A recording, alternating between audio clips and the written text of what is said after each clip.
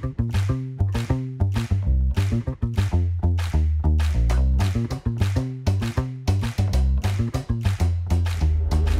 Bonjour à toutes et à tous et bienvenue sur le plateau de l'émission pour changer de vie. Aujourd'hui, je vous propose une nouvelle émission organisée toujours par le groupement Les Mousquetaires pour aller à la rencontre des chefs d'entreprise Rodi et pour tenter de répondre aux questions que vous vous posez sur le commerce associé et sur la vie de chef d'entreprise mousquetaire. Alors le groupement Les Mousquetaires, vous le savez, c'est un acteur majeur de la grande distribution. On le rappelle, c'est 4000 points de vente en Europe, 7 enseignes et plus de 3000 chefs d'entreprise indépendants. Il y en a trois euh, avec moi aujourd'hui. Et parmi ces anciennes, il y a l'enseigne Mobilité, qui est l'enseigne Rodi, réseau de centres auto implantés partout en France. Mais ce n'est pas moi qui vais vous parler de ça aujourd'hui, mais bien les chefs d'entreprise qui sont en plateau avec moi. Ludovic Piogère, bonjour. Bonjour Clémentine. Emmanuel Tavares, bonjour. Bonjour Clémentine. Et Mélanie Michon, bonjour. Bonjour Clémentine. Alors avec eux, nous allons parler entre autres d'entrepreneuriat, du modèle Rodi, de leur quotidien de chef d'entreprise, de l'importance de la satisfaction client et du parcours d'un candidat mousquetaire plus précisément avec vous Mélanie. C'est parti pour l'émission pour changer de vie. Et avant de rentrer un petit peu plus dans le vif du sujet, je vais vous demander à chacun de vous présenter. Mélanie, euh, je vous laisse commencer. Oui, alors je m'appelle Mélanie Michon. Je suis euh, chef d'entreprise mousquetaire avec mon mari depuis 2003 pour l'enseigne Intermarché dans les Alpes de Haute-Provence. Et euh, dans le cadre de mon tiers-temps, je fais partie de la cellule recrutement et recrute, je participe en tout cas au recrutement des futurs chefs d'entreprise mousquetaires pour chacune des enseignes. On rappelle juste rapidement ce que c'est que, le tiers-temps Oui, alors le tiers-temps, c'est notre engagement pour l'enseigne, c'est-à-dire quand on est chef d'entreprise indépendant, on a notre propre commerce et en même temps, on participe à la vie du groupe et aux décisions du groupement et à la co-direction du groupe. Ludovic, je vous laisse vous présenter également. Donc Ludovic Piojard, avec mon épouse, nous avons rejoint le groupement des mousquetaires au sein de l'enseigne Rodi dans l'Eure. Nous avons actuellement quatre magasins que l'on exploite sous enseigne Rodi et Rapide Pare-Brise parce qu'on a ces deux activités. Dans le cadre de mes fonctions tiers-temps, je suis président des enseignes Rodi et Rapide Pare-Brise au niveau France. Et Emmanuel, je vous laisse vous présenter également. Donc Emmanuel Tavares, 38 euh, ans, euh, chef d'entreprise depuis de janvier 2022 euh, dans le 24, en centre-ouest. Donc j'ai le centre auto Rodi et Rapide Pare-Brise de Montpont-Ménestérol. Et dans le cadre de mon tiers-temps, je suis au comité d'enseigne. Merci beaucoup. Alors au sein du groupement, je le disais, il n'y a pas moins de 7 enseignes avec un dénominateur commun, je crois, vous allez le confirmer tout au long de cette émission, pour tous les chefs d'entreprise, quelle que soit l'enseigne, c'est là fibre entrepreneuriale. Mélanie, c'est cette envie d'entreprendre, vous, même si vous n'êtes pas chef d'entreprise Rodi, qui vous a poussé à rejoindre le groupement Les Mousquetaires. Oui, alors ce qui nous a poussé, mon mari et moi, à rejoindre le groupement, c'est effectivement le fait d'être chef d'entreprise, d'être indépendant et en même temps euh, de faire partie euh, d'un groupe. Je pense que c'est ce, qui nous a rassurés et, ce qui, et, le fait de, de, participer à cette vie du groupe, à ces décisions, nous a encore plus, je crois, euh, motivé euh, à rejoindre le groupe. Et puis il peut y avoir aussi une, une appétence pour l'automobile ou pas. Quel est votre ressenti sur ce sujet, vous, Ludovic? Bon, je dois dire que j'avais déjà un petit pied dedans. dans mon début de parcours, donc moi avant je travaillais dans l'industrie, dans l'industrie auto, donc parce que c'était un, un domaine euh, un petit peu affinitaire. Alors, je ne suis pas un super passionné de, voitures, hein. je ne lis pas Auto Plus euh, toutes les semaines. Par contre, euh, voilà, j'avais cette, fibre auto, donc j'ai naturellement commencé mon parcours dedans. Et quand, quand j'ai fait le choix avec mon épouse de, de me lancer dans l'entrepreneuriat, j'ai voulu garder, euh, ce côté, ce côté affinitaire, auquel je voulais, absolument rajouter un côté commerce B2C, hein, parce qu'avant j'étais dans le, dans le B2B. Euh, et euh, c'est naturellement que le centre auto, j'irai à cocher toutes les cases, avec la petite cerise sur le gâteau, le côté tiers qui m'a un peu interpellé à l'époque, mais que Mélanie a bien, a bien, décrit et qui euh, a provoqué quand même quelque chose. Donc voilà, Rodi a coché beaucoup de cases pour moi. Emmanuel, vous, vous aviez une appétence particulière pour l'automobile pour le Moi non, pour contre, à l'inverse, à l'inverse, moi j'étais j'étais plutôt dans la grande distribution et je me suis orienté en 2009 donc chez Rodi dans le 77 euh, donc je suis rentré, j'y connaissais euh, pas grand-chose à l'automobile. Il a fallu tout apprendre, tout construire. Euh, j'ai commencé comme vendeur conseil et donc j'ai gravi les échelons jusqu'à devenir responsable de magasin. Et puis à 35 ans, j'ai décidé d'entreprendre, cette envie de, devenir chef d'entreprise. J'ai toujours cette, cette, cette, fibre en moi de prendre des décisions. Et quoi de mieux que de choisir le groupement Les Mousquetaires? J'ai vécu à travers, donc je vais reprendre le terme, le tiers-temps de mes deux adhérents. Je suis tombé amoureux justement de, ce partage qu'on pouvait avoir à, devenir chef d'entreprise dans le groupement Les Mousquetaires. on n'est pas tout seul, on est accompagné, on est aidé, on est épaulé. Euh, et, c'est ça qui m'a fait, euh, fait passer le cap d'être responsable de magasin à chef d'entreprise dans le groupement Les Mousquetaires. Alors je vous propose que l'on se plonge un peu dans l'univers Rodi avec ce Vie ma vie. Nous avons suivi le quotidien de Yannick Andrieux, chef d'entreprise Rodi à Montauban.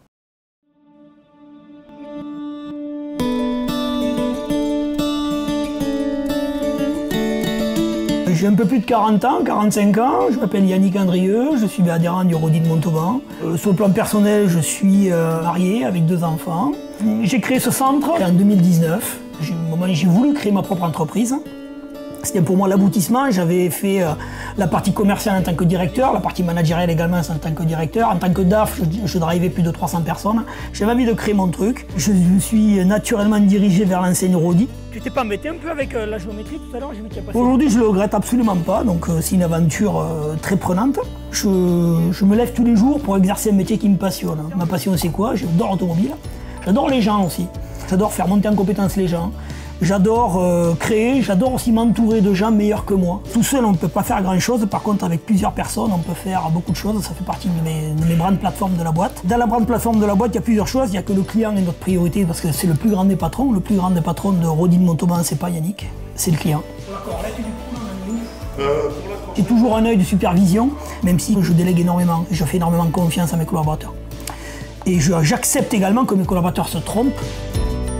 Ma façon de travailler, c'est assez timé. Donc euh, j'arrive, je prends la température, je regarde sur le plan organisationnel comment, la journée se présente. Moi, mon truc, c'est m'occuper des clients et m'occuper des gens. Je suis pas là forcément pour monter des pneus, c'est pas mon travail, mais par contre, je m'assure que ce soit bien fait. Je suis pas un mécanicien de formation, mais par contre, je sais m'entourer de gens qui savent faire et je sais déceler lorsque ça va pas. En fait, chez Rodi, on a un contrat d'enseigne, donc on a sujeté un contrat d'enseigne avec des obligations, bien sûr. Mais on a également une liberté d'action, donc ça c'est plutôt pas mal.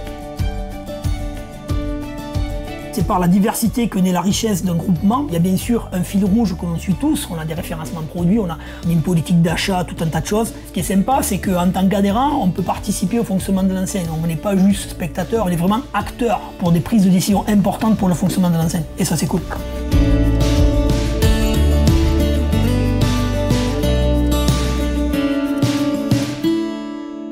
Alors Yannick le disait, euh, quand on parle de Rodi, évidemment, on parle d'être chef d'entreprise indépendant, on parle du modèle qui est celui du commerce associé. Emmanuel, vous vous le disiez, hein, c'est ce qui vous a séduit aussi dans l'envie de rejoindre le groupement Les Mousquetaires. Exactement. Euh, l'idée d'être décideur dans son point de vente, d'être son propre patron, de prendre les décisions dans son point de vente et à la fois d'être co-dirigeant dans le groupement et de pouvoir échanger avec les, euh, collègues, chefs d'entreprise, issus de l'automobile ou non. Euh, on a des personnes chez nous qui, sont, qui n'ont pas d'appétence donc, sur l'automobile, mais qui ont, euh, qui ont d'autres cordes à leur arc, qui viennent nourrir mon quotidien de chef d'entreprise. C'est très différenciant en fait ce côté commerce associé, parce que si on fait la différence avec un, système de franchise, qui va être très vertical, c'est-à-dire qu'on va avoir des décisions qui, qui, vont être prises par, par une enseigne et qui vont redescendre sur les franchisés, qui s'imposent à eux euh, avec, euh, bon, généralement quand même euh, le, ressenti du, terrain, mais c'est pas de la même façon. Nous, on est sur nos points de vente tous les jours, avec nos collaborateurs tous les jours, avec nos clients tous les jours. Et quand on est amené à prendre des décisions et à co-gérer ce, ce, groupement qui est un, petit peu notre bien commun, on le fait avec toutes, ces, toutes ces informations. Quand on va prendre une décision, c'est tout de suite comment vont réagir nos équipes, nos clients, comment on va les mettre en place. Et c'est quelque chose qui fait fondamentalement la différence. Et puis c'est très très enthousiasmant de se dire on va prendre des décisions, on s'imagine déjà savoir comment ça va être reçu en point de vente.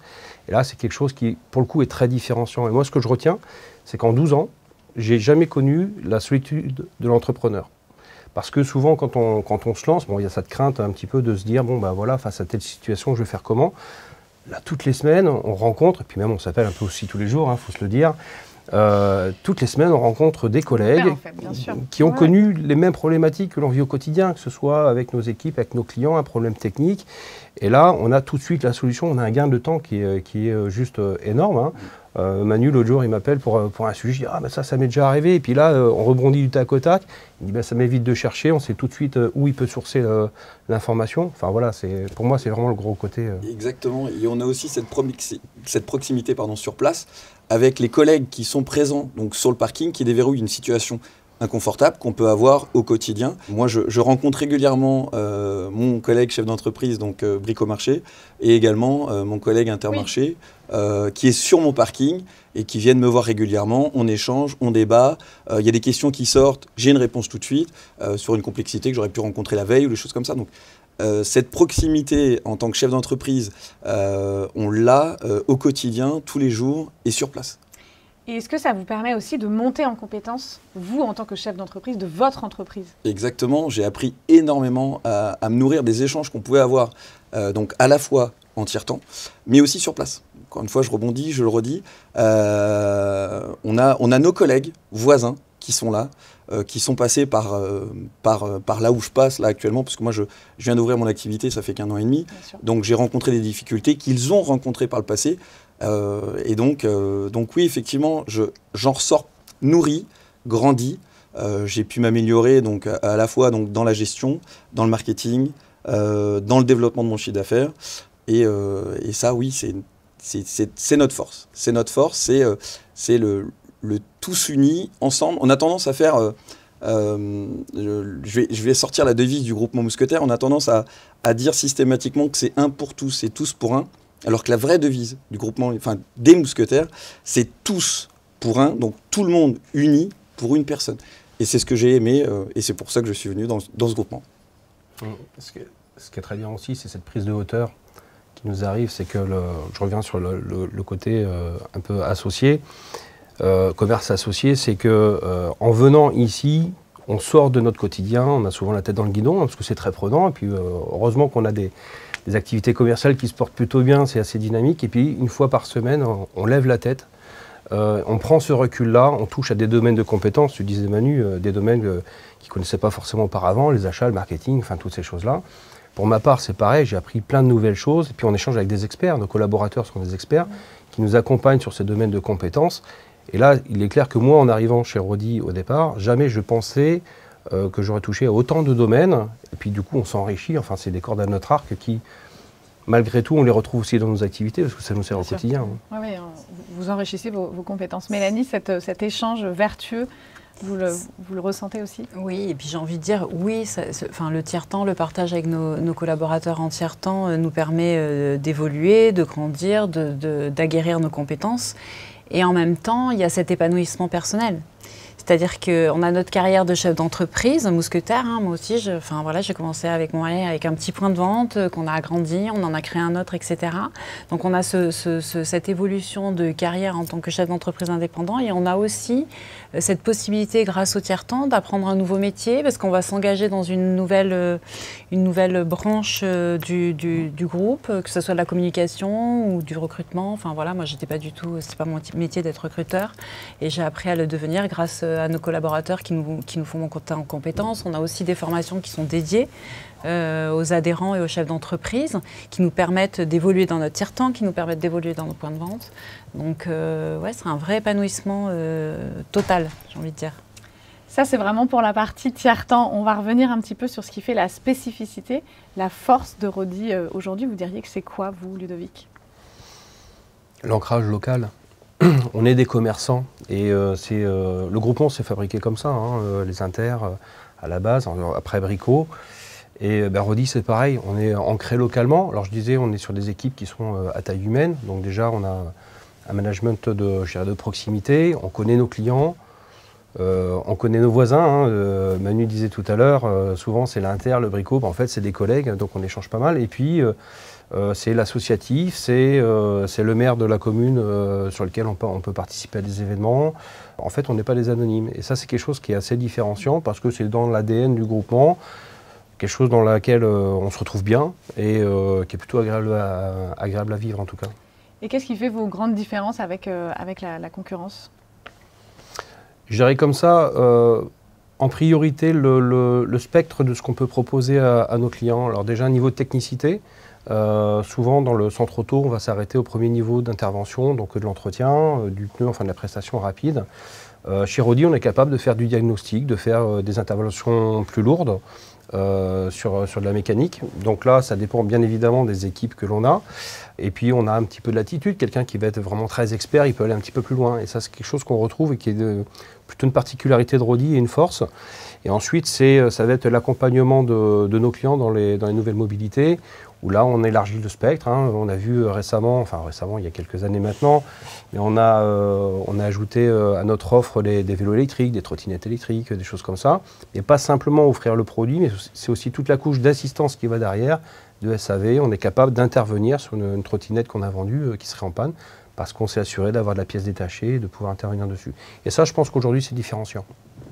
Et puis Emmanuel, en complémentarité de l'enseigne Rodi, il y a l'enseigne Rapide Pare-Brise qui est aussi une enseigne euh, mousquetaire. Oui, et c'est une grosse valeur aussi pour nous. On ne se cantonne pas seulement à faire de l'entretien et de la mécanique euh, automobile, on fait aussi le remplacement de vitrage. donc c'est une activité qui, vienne euh, enfin qui vient pardon, euh, enrichir aussi nos comptes d'exploitation, qui n'est pas négligeable. Euh, donc ça permet justement, voilà, quand on dépose le véhicule, de pouvoir faire absolument l'intégralité des travaux que peut comporter le véhicule en passant par le vitrage, l'entretien et la réparation. parce qu'il n'y a rien de plus frustrant pour un client que de s'entendre dire bah, pour tel type d'intervention, il faut aller à tel endroit. Hein, je parle de prestations techniques tout à l'heure, c'est le cas, bah, ça c'est une panne, il faut aller chez le constructeur. Mon client il est là, il aimerait bien être traité, ben, le pare-brise c'est pareil, il y a un pare-brise, on est capable de prendre en charge, euh, en charge l'intégralité. Alors, le modèle Rodi est un modèle qui a fait ses preuves, on vient de le dire, c'est des clients qui viennent et qui reviennent. Euh, nous sommes allés à la rencontre, justement, de ces clients pour qu'ils nous racontent leur expérience. Alors moi, quand je rencontre une panne ou une difficulté avec mon véhicule, d'abord, je, trouve la solution, enfin j'essaye du moins de trouver la solution par moi-même. Et si vraiment je ne trouve pas, je fais appel à un garagiste. Non, quand j'ai un problème, je vais chez le garagiste. C'est mon voisin qui m'a conseillé de venir ici qui est garagiste. Rodi a toujours été présent pour, pour mes voitures qui sortaient un petit peu de l'ordinaire. Ils ont toujours été là et m'ont fait toutes les réparations. Moi, les services que j'attends quand je vais chez le garagiste, c'est euh, bah, le sérieux, la réactivité, l'honnêteté, la rapidité pour, euh, pour effectuer les éventuelles réparations. Mais moi, ce que j'apprécie dans un service, dans un centre euh, garage automobile, c'est ça, c'est avoir un véhicule de prêt à disposition que j'attends d'un garagiste Bon, le prix d'abord et euh, le sérieux du garage. Ben, écoutez, la confiance, c'est vraiment quelque chose qui est primordial euh, chez un garagiste. Quoi. Ici, si je peux le dire, j'ai trouvé un très bon garagiste qui me font des. Euh, enfin, ils ont vraiment des très bonnes compétences et voilà, c'est pour ça que je viens toujours ici. Et ici, ils me disent vraiment tout ce qu'il y a à faire de A à Z. Et en fonction de si je peux le faire toute seule, je le fais toute seule. Si je peux pas le faire toute seule, ils me le font. Je n'ai même pas cherché ailleurs. Ils ont tenu leur engagement à chaque fois. J'ai découvert comme ça, par hasard. Et honnêtement, je changerais pour rien au monde. je peux pas en dire mieux. Euh, pour moi, c'est eux. Et puis voilà. Ludovic, vous êtes en phase avec ce, que, ce qui vient d'être dit par les clients. C'est aussi le ressenti que vous avez, vous, euh, euh, sur vos points de vente? Ah, c'est marrant, on retrouve nos clients hein, dans, le, dans ce magnéto. Ce qui est très intéressant d'ailleurs, c'est de voir euh, l'attachement qu'ils ont. Alors, j'ai beaucoup entendu garagiste, parce que souvent, c'est le premier réflexe, de nous associer à ce métier, partie très technique du métier. Euh, avec tout ce que ça comporte autour de ça. Euh, aujourd'hui, le garagiste, on a besoin de, réassurance, on, a, parlé de confiance, on a parlé de satisfaction, le fait d'avoir systématiquement une réponse. Là, on a vu un client qui, par exemple, avait des véhicules un peu particuliers. On sait qu'on peut s'occuper de lui, il va là-bas. Donc ce côté confiance qui est très intéressant. Euh, souvent relié notamment à l'aspect euh, purement mécanique, avec euh, cette, souvent on a une anxiété du client d'aller voir le garagiste, donc les dames elles, se disent est-ce que je vais me faire avoir, je peux pas me faire avoir. Mm. Et là le fait de connaître leur, leur centre auto, je, je vois qu'ils connaissent bien les équipes qui s'occupent d'eux, euh, on, sent déjà la dimension du commerce de, proximité. Donc ça, c'est plutôt très intéressant. Bon, bien évidemment, notre métier, c'est pas euh, que la partie garage, il y a aussi toute la partie plaisir, hein, pour ceux qui aiment, l'automobile, euh, qui aiment bien l'entretenir, en prendre soin, l'équiper, que ce soit des coffres de toit, des, portes vélos et, tout ça. Mais oui, la satisfaction, c'est très important d'y être vigilant, parce qu'il y a toujours, hein, je, reviens dessus, mais cette anxiété du client d'aller voir le garage. Donc nous, on y est très sensible, notamment euh, on s'attache à ce que chaque personne qui passe dans nos ateliers reçoit le lendemain, à froid, euh, un questionnaire de satisfaction pour euh, bah, savoir ce qu'il a à nous dire. Alors, Très souvent, il est content parce qu'on a plutôt d'assez bonnes notes. Ça nous permet de collecter aussi bien les bons que les mauvais avis. Et ce qui est très intéressant d'ailleurs, c'est que quand, quand il y a quelque chose qui n'a pas été conforme à leurs attentes, ben, ils nous le disent. Et grâce à ça, on gagne du temps. C'est un magnifique aussi outil de management parce que ça nous permet de savoir directement là où il faut agir. Et on retrouve bien nos clients, oui. quels services, produits, technologies on peut retrouver chez vous, enfin dans un Rodi qu'on ne trouve pas forcément ailleurs? On a donc toute notre activité euh, donc centre auto qui est dédiée donc pour l'atelier, mais on a aussi notre activité euh, libre service où on peut retrouver absolument tout, la mobilité douce, une gamme euh, complète de vélos électriques, de trottinettes électriques qu'on sait vendre, conseiller et réparer derrière. on a, on a tout, tout, enfin une large euh, gamme euh, d'équipements extérieurs, équipements intérieurs, euh, de, technicité, filtration, huile, donc outillage, exactement. Donc demain, le client vient chez nous, trouve absolument tout, exactement pour entretenir ou, pas que, ou pas que ça, oui, exactement. Et alors le digital au sein des points de vente a permis aussi d'améliorer l'expérience client qu'on vient d'évoquer. Oui, je dirais l'expérience client qui est fondamentale, on l'a vu tout à l'heure, donc euh, au travers des avis, mais pas que, euh, parce qu'on est capable aujourd'hui, grâce au digital, euh, de dire à un client, dans, dans deux mois, vous allez avoir votre révision, il y a tel type d'intervention à faire, parce qu'on a des outils aujourd'hui qui nous permettent de savoir ces choses-là. On connaît les règles de, roulage, parce que quand ils viennent chez nous, on sait à peu près combien, ils roulent, donc ça se calcule automatiquement, donc c'est un vrai service apporté aux clients. il y a également l'expérience collaborateur, c'est aussi important de fluidifier le geste dans nos, centres euh, pour nos équipes. Quand on fait de la vente et qu'on n'est pas préoccupé par l'outil, parce que l'outil devient de plus en plus intuitif, qui nous apporte de plus en plus d'informations, bah, du coup la vente elle devient de plus en plus naturelle. Et euh, c'est ce que c'est ce que Rodi a amené ces dernières années. On a encore de nouvelles étapes qui arrivent. On va euh, digitaliser un petit peu plus nos ateliers. Avec, on parlait de réassurance tout à l'heure, de pouvoir montrer un client quand on lui dit qu'il y a une intervention à faire, de pouvoir lui apporter la photo, qui lui montre que bah oui, regardez, ça je vous le mets dans votre rapport, votre euh, le, contrôle de votre voiture, euh, bah, c'est celui-ci, et je vous le prouve. Hein, et c'est très important de pouvoir aller jusqu'au bout du geste. On a euh, la digitalisation aussi. Bon, on a notre nouveau site de e-commerce qui est aujourd'hui. Qui permet aussi de redonner de la confiance. Vous parliez tout à l'heure de, confiance. Oui, exactement. Et puis, il va pouvoir retrouver sur, sur sa facture l'ensemble de ces informations, retrouver un historique. Et du coup, ça, ça, devient un, socle dans la discussion. Hein. Encore une fois, le garagiste aujourd'hui, il a besoin de rassurer son client parce que euh, des fois, euh, le, côté garagiste hein, peut avoir mauvaise presse. Il y a des bons, il y a des mauvais professionnels et on veut s'attacher à montrer, à démontrer qu'on est de bons professionnels. Les outils nous aident bien. Bien sûr. Et le site e-commerce, il permet de donner de la transparence, notamment sur les prix de ce qu'on peut trouver euh, dans les points de vente. Oui. Alors, transparence sur les prix, aussi découvrir l'offre de service euh, que l'on est capable de faire. Et là, on va étendre un petit peu notre offre. Hein. Euh, Emmanuel disait tout à l'heure qu'on avait euh, beaucoup de choses dans les magasins. Aujourd'hui, on est entre 3500 et 4000 références dans un magasin. Euh, il faut savoir que grâce au e-commerce, on peut encore plus élargir, c'est-à-dire même des choses que l'on n'aurait pas tout de suite dans le magasin, mais que l'on peut commander. Quelqu'un qui va avoir un porte-vélo très spécifique parce qu'il a vu ce modèle-là, ben, même si on ne l'a pas en magasin, on va être capable, il va être capable de l'acheter, on va être capable de le faire livrer directement chez nous, voire de l'installer chez nous. Donc une expérience client euh, satisfaisante qui est au cœur de vos préoccupations, mais aussi une conjoncture favorable sur le marché de l'auto. Je vous propose de regarder un, petit magnéto pour nous donner quelques chiffres sur ce marché de l'automobile. Mhm. Le parc automobile français compte près de 42 millions de véhicules qui circulent. Plus de 4 foyers sur 5 possèdent une voiture. En 2022, l'âge moyen des voitures était de 11,3 ans. 59% du parc auto a plus de 10 ans. C'est donc autant de voitures qu'il est nécessaire d'entretenir, de réparer. De ce fait, on retrouve de plus en plus de garages et de centres auto aux quatre coins de la France. Le secteur est concurrentiel mais porteur. 71% des véhicules ont fréquenté au moins un atelier en 2022 avec un coût moyen d'entrée atelier à 249 euros. Parallèlement, en août 2023, les immatriculations des véhicules électriques et hybrides rechargeables progressent de 53%. Ils se sont octroyés 22,5% du marché. La préoccupation environnementale grandissant, les mobilités dites douces comme les vélos ou les trottinettes se développent également, notamment dans les grandes et moyennes villes. Ces transformations impliquent une évolution de l'offre des centres auto qui se doivent de répondre à ces nouveaux enjeux pour s'adapter aux besoins du consommateur. Alors, euh, Ludovic, le marché euh, du neuf remonte, euh, mais il n'est pas vraiment au beau fixe. en revanche, le parc automobile vieillit en France. Est-ce que c'est une bonne nouvelle pour vous, pour Rodi? Oh, Pour Rodi, oui. Je ne sais pas si c'est une bonne nouvelle, je dirais, en termes d'évolution de marché. Par contre, pour Rodi, c'est plutôt une bonne nouvelle. Euh, ce que l'on constate, c'est que les, clients, euh, sur les trois premières années, on en parlait avec Manu pas plus tard qu'hier soir, euh, il y a toujours cette, cette, habitude d'aller les trois premières années chez le constructeur parce qu'ils ont peur de perdre leur garantie constructeur, ce qui n'est pas le cas, mais bon, voilà, je dirais que c'est le premier réflexe qu'ils ont.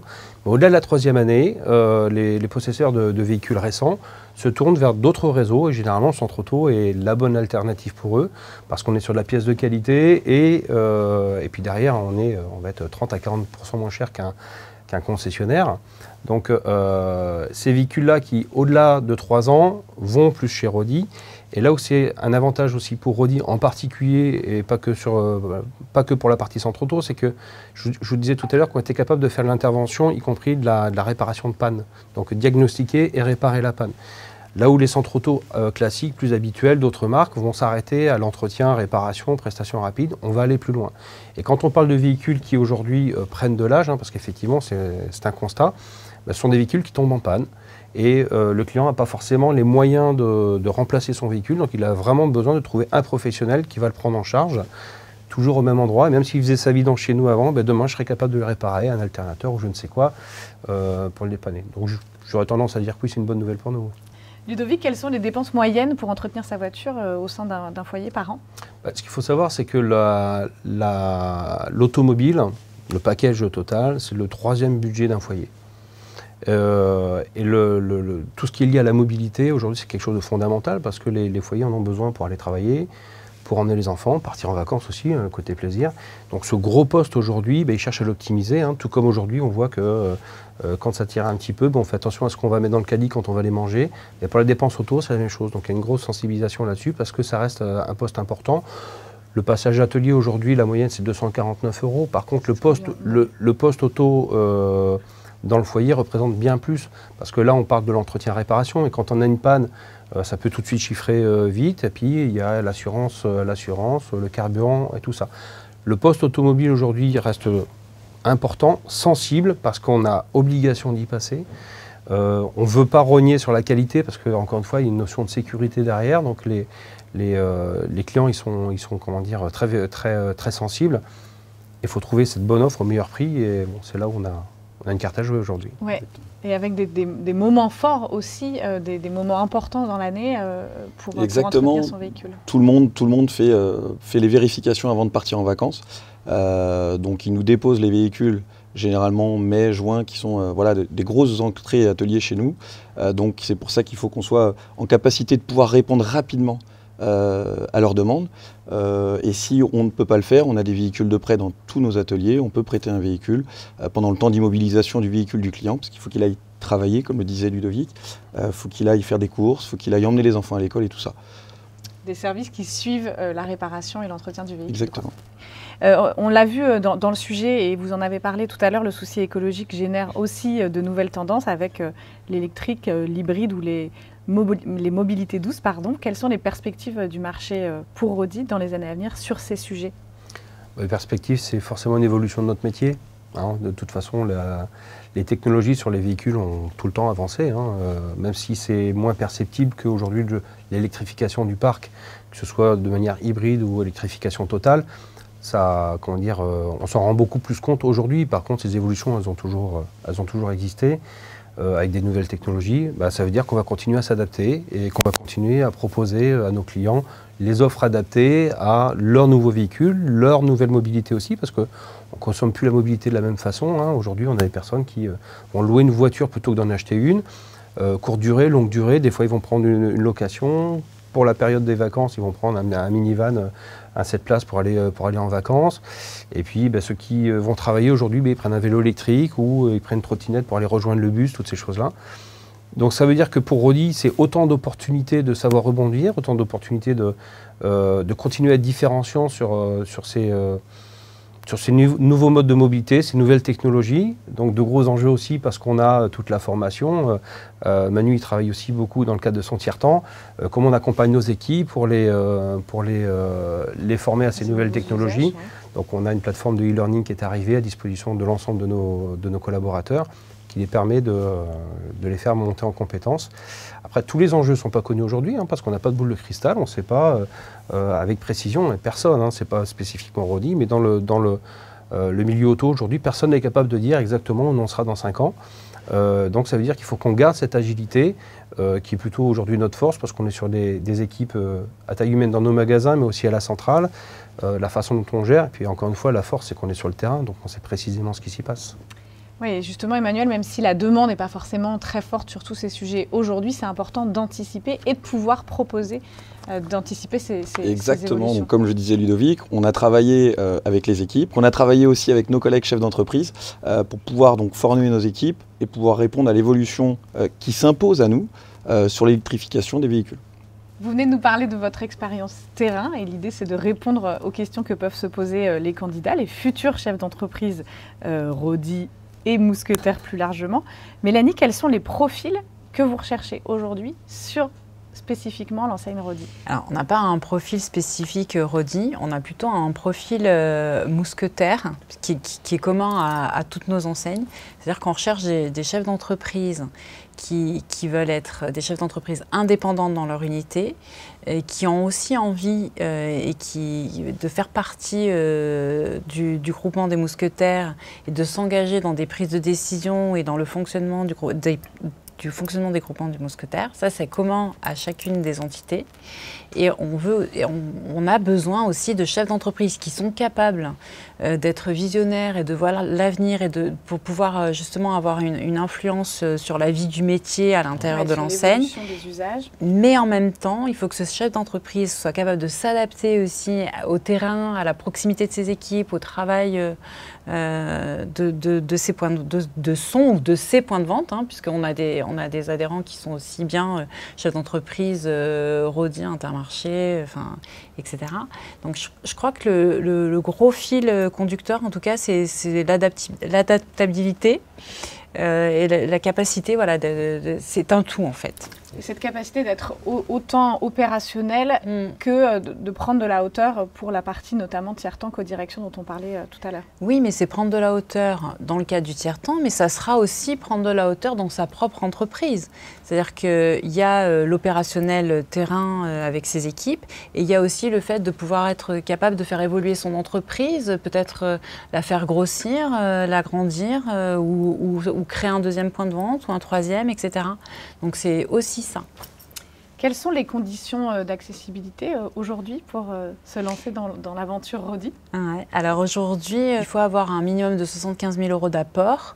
Euh, et on insiste sur le terme apport, à savoir que ce n'est pas un, montant euh, de franchise qui est bloqué, c'est vraiment un, minimum dont euh, l'adhérent aura besoin pour faire le rachat de sa propre entreprise.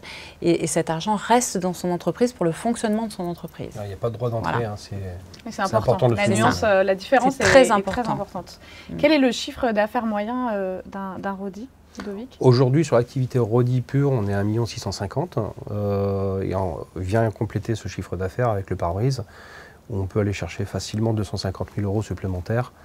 Donc euh, voilà, on va dire environ 1,9 million euh, d'euros actuellement. Comment se passe le recrutement d'un futur chef d'entreprise? Euh, alors le recrutement, c'est d'abord une première euh, rencontre. Ça peut être fait par exemple sur le salon de la franchise qu'on fait euh, dans l'année. Ça peut être, il faut évidemment que ce soit le, candidat qui, vienne taper à la porte, enfin qui, qui, regarde. En plus, on a, des entretiens, on a deux entretiens différents.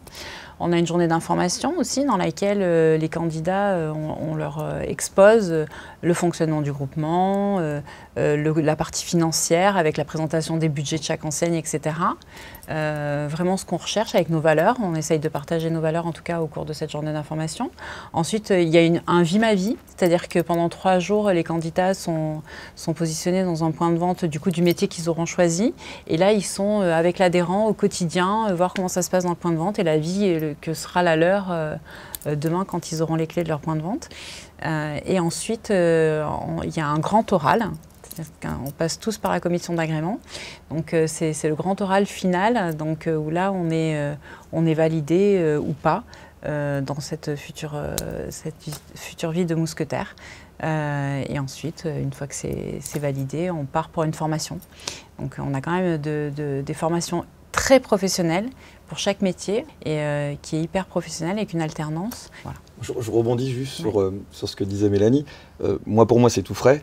Ce voilà, exactement. Donc moi, exactement, elles sont importantes. Et encore une fois, on, on, est, on est chef d'entreprise du groupement Mousquetaire. Tous mes entretiens que j'ai passés se sont faits avec des chefs d'entreprise de toutes les entités. Je ne parle pas à un chef d'entreprise Rodi, euh, je parlais à des chefs d'entreprise euh, Intermarché, Bricomarché et ou Rodi. Euh, donc encore une fois, on n'est pas cantonné au métier, on, est des chefs d'entreprise, on rentre dans le groupement Les Mousquetaires en voulant devenir chef d'entreprise. Et donc ces différentes étapes qui, sont, qui sont obligatoires sont faites avec des chefs d'entreprise de toute entité confondue. Et, quand après, même vous auriez identifié euh, une L'orientation, exactement, ouais. L'orientation vient après, euh, en fonction des apports, mhm. euh, des apports et, et, de la pétence aussi. mais l'orientation vient après. Encore une fois, on recherche des, chefs, d'entreprise. Exactement. Des chefs d'entreprise, mousquetaires. Quelles sont les opportunités à court et moyen terme? Est-ce qu'il y a des régions qui sont, se développent plus que d'autres? Alors la réalité, c'est que euh, en moyenne, chaque année, on a une quinzaine de projets RODI en création ou en reprise, hein, en reprise de magasins existants ou en création de nouveaux points de vente. Il euh, n'y a pas une région plus, plus, plus qu'une autre. J'ai envie de dire que au plus on est mobile et au plus rapidement on, est, on a accès à son point de vente. Oui, puis c'est la, possibilité de trouver le, le, point de vente, que ce soit une création ou une reprise, qui nous correspond le mieux. Parce qu'on va avoir des typologies de points de vente mmh. différents. Aujourd'hui, tout le territoire, enfin, il y a des opportunités sur tout le territoire, à la reprise ou à la création. On a une bonne dynamique aujourd'hui de développement. Le modèle séduit de plus en plus. On voit qu'il est de plus en plus performant. Donc ça attire euh, du monde. On a des projets euh, qui, euh, qui sont à travers tout le territoire et qui nous permettent de proposer à quelqu'un qui viendrait nous rejoindre plusieurs typologies de, de magasins avec de, très belles opportunités en ce moment. Exactement. Euh, encore une fois, c'est tout frais pour moi. Euh, j'ai pris mon véhicule euh, et, je me suis déplacé dans l'intégralité des points de vente qui étaient à vendre ou en création. Il faut savoir qu'il n'y a, a, pas de fichier. on y va, on regarde et on se nourrit de ce qui se passe sur le territoire. Et, potentiellement aussi de vos échanges avec les, avec les, différents adhérents, les chefs d'entreprise, avec les différents chefs d'entreprise qu'on pourra rencontrer lors de ces déplacements et de se nourrir de ces échanges-là, de ces échanges-là, pardon, euh, pour construire justement euh, bah, notre avenir. Un projet notre qui avenir, ressemble, exactement. Euh, moi, j'ai embarqué, donc je suis tout seul dans l'aventure. j'ai embarqué ma femme et mes enfants. On a changé de vie ensemble, et, et aujourd'hui, personne ne le regrette. Qu'est-ce que vous pourriez dire, alors même si ça c'est un beau message, qu'est-ce que vous pourriez mm. dire à ce potentiel euh, candidat, à ce futur euh, chef d'entreprise qui se pose la question de rejoindre euh, les mousquetaires sur une enseigne Rodi, même si on l'a dit, c'est pas forcément par ce chemin-là qu'on rentre chez les mousquetaires? J'aurais envie de, dire rejoignez-nous, venez nous aider à, faire grandir encore et renouveler notre, notre groupement. Oui, moi j'ai tendance à toujours expliquer le parcours, de savoir d'où on vient, où on est arrivé. Euh, il y a 12 ans, j'aurais jamais espéré faire un parcours euh, tel que celui-ci parce que, euh, bon, il y a le développement de nos entreprises, mais il y a aussi le fait ben, qu'on ait la banane quand on, quand on y va, qu'on se retrouve dans ce qu'on fait, qu'on peut être conforme à nos propres valeurs, c'est-à-dire que faire du commerce, manager ses équipes avec ses propres valeurs, c'est une liberté formidable. Et euh, enfin, j'aurais plus envie de leur souhaiter euh, autant de, autant de, plaisir qu'on a pu prendre avec mon épouse ces 12 dernières années. Moi, j'ai construit une famille. Moi, c'est l'humain. Moi, je suis venu aussi euh, dans le groupement parce qu'il y a, y, a, y a, cette famille qui se construit à travers les différentes étapes qu'on passe. la formation, moi, la formation, on n'est pas tout seul. On est là, on est, on est une dizaine, une quinzaine, une vingtaine de personnes et ces personnes-là restent. Et ça, c'est très important. Euh, avec des orientations différentes, encore une fois, la formation, elle est, euh, moi je l'ai faite avec des, collègues euh, qui se sont orientés, donc chez, chez Équipement de la Maison. mais ces gens-là restent et c'est ça le plus important chez nous. Merci beaucoup, merci d'avoir partagé euh, votre expérience de chef d'entreprise, d'avoir donné des clés, d'avoir donné des réponses. Merci à vous de nous avoir suivis. Si vous avez envie de vous lancer dans la belle aventure de l'entrepreneuriat avec les mousquetaires, vous pouvez remplir le formulaire que vous trouverez sur le site changerdevie.mousquetaire avec un s.com. Vous pouvez aussi toujours aller à la rencontre des adhérents, des chefs d'entreprise comme Ludovic, Mélanie et Emmanuel dans leur point de vente. Encore merci à tous les trois. Merci à vous. À bientôt. Merci. Merci.